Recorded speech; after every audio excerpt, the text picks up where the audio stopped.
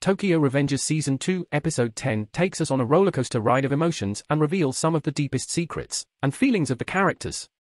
The episode begins with Hina confronting her father about his involvement in her relationship with Takemichi.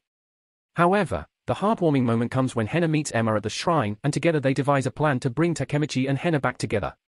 As Takemichi and Hina meet again, Takemichi's heartfelt apology moves Hina, and she forgives him, Meanwhile, Mikey, the leader of Toman, takes Takemichi on a ride and reveals his own vulnerabilities and fears. Mikey's trust in Takemichi's ability to set him straight showcases the true bond and camaraderie between the gang members.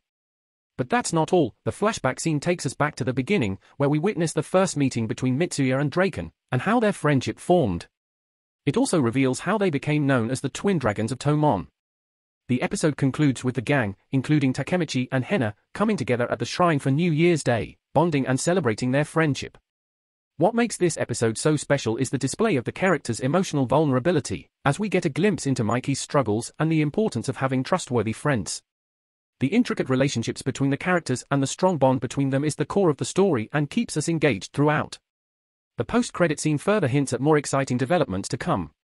If you already watched this episode please let me know your thoughts in comment section and please like and subscribe to my channel for exciting videos.